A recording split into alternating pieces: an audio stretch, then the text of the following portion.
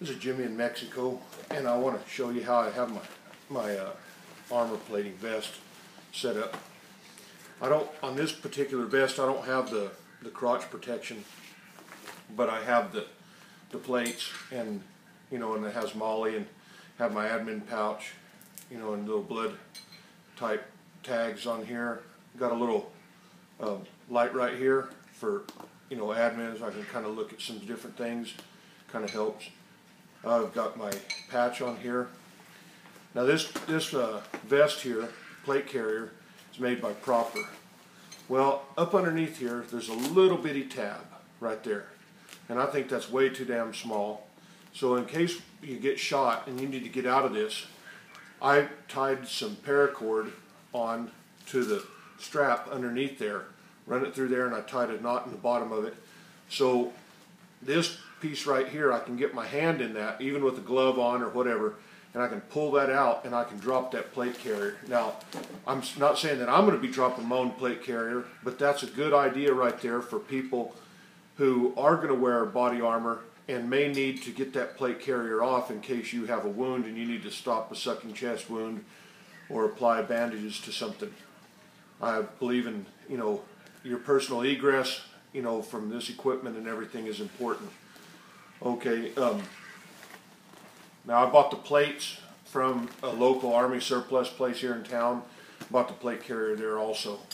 And on the back, what I have set up here is I have some of these uh, GrimLocs set up here so they fit just perfect for me to take my water bladder my, and bladder carrier here and I can strap this thing right onto the back of my plate carrier and I can you know I can run the hose up over the shoulder and you know and run it through the straps and everything and I've got my water bladder that I can attach right to the back of this plate carrier. And that gives me something, you know, that I can carry.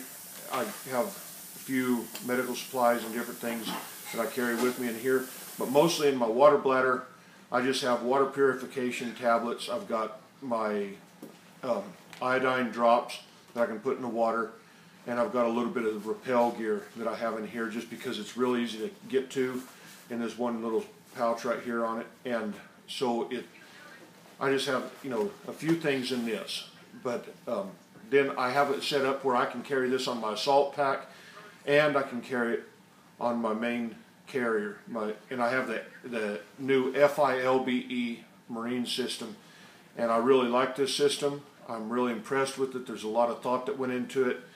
And I'll make a video about that, you know, but but this this is really nice that I can strap this right onto the back of my of my bulletproof vest, plate carrier, and of course I will eventually try and get some plates for the side and work them in somehow maybe maybe have some plate carriers set up so I can put the side plates on here you know but but for the time being I you know they're kind of small plates they're, they're or they're large and I needed probably an extra large if I can get them so that I can cover up here, you know, a little bit higher and get a little bit lower. But, but for the time being, you know, this this is a, a good rig. It's set up for me, and it's it's easy to carry. It's not real heavy, and I do have a one of those uh, all that nasty looking um, gray army type stuff. Name slips my mind, but. Um, some of their stuff that I have a, a, full deal with, and it has the soft armor, crotch protection, shoulders, neck, everything. And you know, I would hope I wouldn't have to get into a situation with that, but but mostly just for my use, this is going to be, you know, my, you know, trying to get to somebody, get them out of harm's way type of deal, and uh, you know, I can I can put a, a holster on this thing, you know, later, and you know, if that if that need arises. But in the meantime, you know, just for my basic EMT stuff, this is good right here. I also have some little um, these elastic deals here. I can put on a pair of trauma shears. I can bungee, you know, they're just with a little piece of shock cord on there, but it's woven into that. I can put my trauma shears on there. I can put a flashlight in alongside on this this uh, little admin pouch, put a few things up here inside this, you know, but for the time being, you know, this, this is just, this is just basically just a chest rig, but I have a, a Stomp three medical kit that I carry all of my other Stomp two medical kit, and then that's where I carry everything else in.